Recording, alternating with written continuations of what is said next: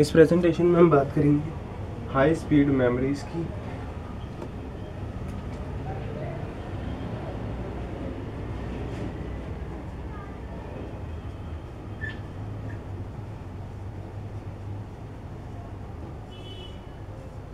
High speed memories basically high speed memories में जो हमारी सबसे famous memory that is my cache memory cache memory मेरी high speed memory में सबसे फ़ेमस मेमोरी है। ठीक है? अब ये कैशे मेमोरी है क्या? इसके पॉइंट्स लिख लो कि ये एक फास्ट मेमोरी है जो हमारे सीपीयू के, ये कह सकते हो, या तो सीपीयू के अंदर कह सकते हो, या कह सकते हो कि कंट्रोल प्रोसेसर यूनिट के नेक्स्ट जो होती है that is my cache memory ठीक है? तो इट इज़ एक्सट्रीमली फास्ट इसके पॉइंट्स लिख लो। एक्सट्रीमली फास्ट ठीक है? एंड इसका काम क्या होता है? ये जो है इंस्ट्रक्शन जो रिपीटेडली यूज़ हो रहे हैं उसको बार बार हमें uh, जो मेन मेमोरी से अगर हम वो इंस्ट्रक्शन बार बार लेंगे तो हमारा टाइम ज़्यादा लगता है। So it basically saves our time by just storing that instruction which are repeatedly required ठीक है? तो it stores that instruction which are repeatedly required इसमें आप लिख सकते हो stored that instructions which are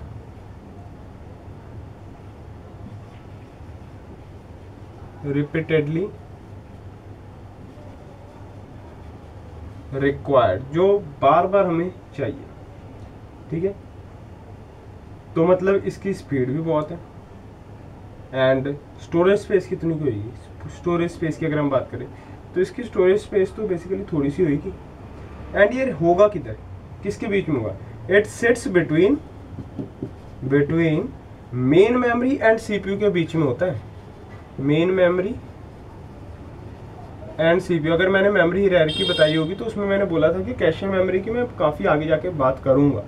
जब मैं मेमोरी हिरारकी बताया था तो वो मेरे को इधर आके बात करनी थी, इसलिए मैं कह रहा हूँ। ठीक है जी? और बेसिकली ये लोकेट का होता है? सीपीयू चिप के अंदर ही लोकेट होता है। सो इट्स बेसिकली और may be located located in CPU chip CPU के चिप में ही ये लोकेटेड होता है। थोड़ा सा इसका ब्लॉक डायग्राम देख लें ब्लॉक डायग्राम इसका कुछ इस वे में होगा कि ये सीपीयू होगा हमारा। This is my cache memory cache memory and this is my main memory so इन दोनों के बीच में जो ट्रांसफ़र होगा that is word transfer that is word transfer जो बाकियों के बीच में होगा that is my block transfer जो बाकियों के बीच में होता है, वो होता है मेरा ब्लॉक ट्रांसफ़र। तो सीपीयू एंड कैशे मेमोरी जो होती है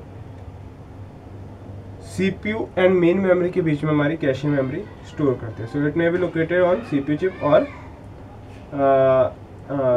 module CPU chip या मॉड्यूल के अंदर ये बेसिकली लोकेट होती है। अब थोड़ी सी हम कैशे मेमोरी की कैलकुलेशंस की बात कर ले, कुछ थोड़ी सी परफॉर्मेंस की बात कर लेते हैं ना जी? तो अगला पॉइंट कैशे मेमोरी का ही है। लेकिन है जो परफॉर्मेंस ऑफ़ कैशे मेमोरी पे।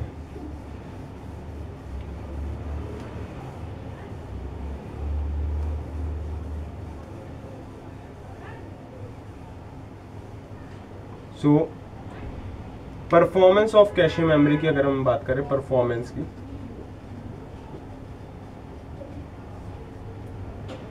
इसमें कुछ आ, जो वैल्यू से याद रखनी थी एक फॉर्मूला याद रखना है T E is equals to T C plus one minus H into T M अब तुम कहोगे, यार, ठीक है, तुमने फॉर्मूला ज़रूर बता दिया, लेकिन इधर टी ई क्या है टी सी क्या है टी एम क्या है एच क्या है, ये भी तो बता दो। है ना जी? बिल्कुल सही बात है। TE is my affective memory access time in cache memory. This is effective memory access time in cache memory ठीक है? टीसी क्या है cache access time TC is my cache access time T M क्या है main memory access time main memory access time and H is my hit ratio H हमारा क्या होता है बेसिकली हिट रेशियो होता है। आप कहोगे हिट रेशियो क्या होता है? कि percentage of memory access satisfied by the cache memory system इसकी मैं वैसे काफ़ी आगे बात अभी थोड़ी सी, थोड़े से जस्ट थोड़े टाइम में अपनी अगली या उससे अगली प्रेजेंटेशन में इसकी मैं काफ़ी डीप में बात करूँगा कि ये हिट रेशियो है क्या। ठीक है? तो बेसिकली इसमें अभी डेफिनेशन से गुजारा करना पड़ेगा आपको। Percentage of memory access time percentage of memory access sorry memory access satisfied satisfied by cache memory system satisfied by cache memory system ठीक है जी? तो ये होता है हमारा। परफॉर्मेंस ऑफ़ कैश मेमोरी अब क्वेश्चन वो क्या पूछ सकता है?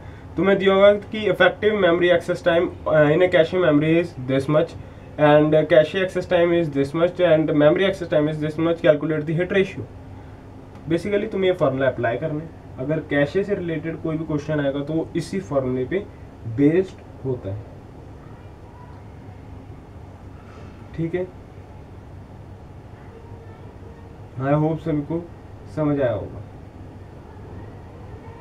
So, इसकी अगली प्रेजेंटेशन में जो हम बात करेंगे that is of mapping function वो हम बात करेंगे मैपिंग फ़ंक्शन की एंड uh, बार बार बोलना तो नहीं चाहिए। चलो इस बार नहीं बोलते कि चलो बोलेंगे नहीं कि चलो बोल देते अब मैंने बात कर दिया अगली प्रेजेंटेशन में किसी में नहीं बोला करेंगे कि नोट्स अवेलेबल है नोट्स से आसानी रहती है पढ़ाने में। तुम्हें बस नोट्स खोलने होते हैं। मेरे को सिर्फ़ एक्सप्लेन करते जाना उस नोट्स को। तो वो काफ़ी जल्दी हो जाती चीज़ें, ठीक है जी। बाकी मर्ज़ी है, लेना है, लोन नहीं लेना मतलब इतना कोई समस्या है नहीं उसमें।